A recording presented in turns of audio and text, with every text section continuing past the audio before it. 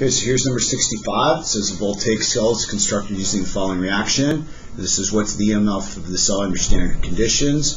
So I look on the E chart sheet right here and I find zinc down here at the bottom. Wrote it up here. And I find nickel a little ways above it right here.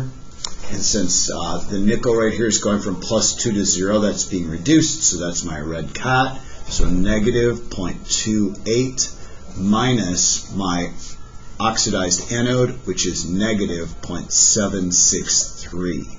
So try that on my calculator here. I have negative 0.28 plus 0.763. Hit enter, and my E turns out to be 0.483 volts. Is that correct? Did somebody try that? Okay, thank you very much. Now on part B, it's at non-standard conditions, so I need to use what's called the Nernst equation to calculate this. The Nernst equation right down here is set up for being at 298K. So here's my E of my cell that I'm going to put in right here. And then it's going to subtract the, the 0.05916 divided by the number of moles of electrons that are transferred times the law of log of Q, which is the products divided by reactants to the power of the coefficients. So the first thing I have to do is break up one of this into the half reactions. And so the one I'll pick is Ni plus 2 goes to Ni and find out how many moles of electrons are transferred. And to balance this, I would need two electrons, right? Because it's positive 2 here, and this would be negative 2, so we get 0 on this side because it's already 0 on this side. So N is going to be equal to 2 right down here. And then Q, Q is going to be my products divided by reactants. My product is Zn plus 2 so I need the concentration of that. Nickel, of course, is a pure solid, so that's not going to be in the uh, expression. And then over here, Zn is solid, and so my nickel plus 2 is going to go over here on this side. So looking at letter B right here, it says nickel is positive, I'm sorry, 3 molar, and that's just going to be the first power because there's only one of them. And then zinc is going to be to the 0.1 molar, and that's going to be to the first power as well because there's only one of them. If it was, you know, if there was a 2 in front of there, I'd have to square it. But there's, there's only a 1, so I don't have to. So let's try that. So then we have that number. 0.1 divided by 3, and I have Q now equaling 0.0333 repeating. Does that look right so far? Now let's go ahead and let's write the whole equation out. E is equal to my 0.483 volts minus 0.05916 divided by number of moles of electrons transferred, which is 2, times the log of 0.03333 repeating. Okay? Let's go ahead and give that a try starting over here. So I'm going to do log second answer times 0.05916 enter. Divided by 2 enter. And notice this whole thing right here ends up being a negative number of negative 0.0437 I'll round it to so I'm actually adding this number to my volts. So I will do 0.483 plus 0.043692. That's probably enough.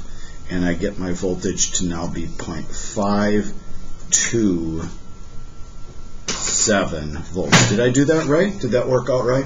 Can you guys not? Yes? Good to go? So that's letter B.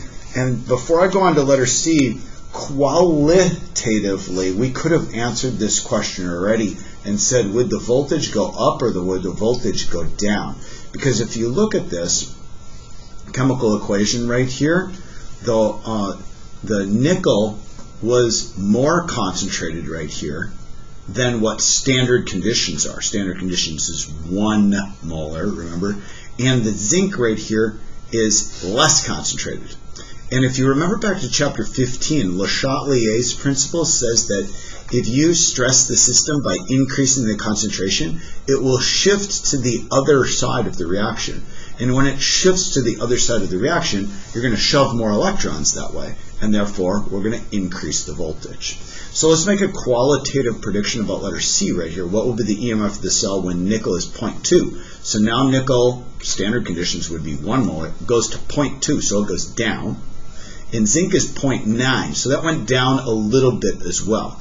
But you can see that nickel went down even more, and so my guess would be is that the reaction would be driven to the left just a little ways, and so my voltage should be less. Let's do the calculations here really quick in letter C, and let's see if that turns out to be true. So E is equal to my 0.483 volts minus the 0.05916 divided by 2 moles of electrons once again times the log of Q and this time Q on the top would be my zinc of 0.9 and on the bottom would be 0.2. Remember they're both to the first power. So let's try that on the calculator really quick and see if it ends up being a little bit less than the 0.483 volts at standard conditions. 0.9 divided by 0.2. If you'd follow along and try this on your calculator, people that are here, just make sure I don't make a mistake here.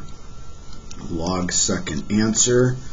So that's what I get for this portion times 0.05916 enter divided by 2 enter and so I get a positive value for this whole thing which means I'm going to be subtracting 0.0193 volts from this so it is going to end up being less so 0.483 minus second answer I end up with a voltage of 0.46 rounded 4 volts, which of course is less than what I started with.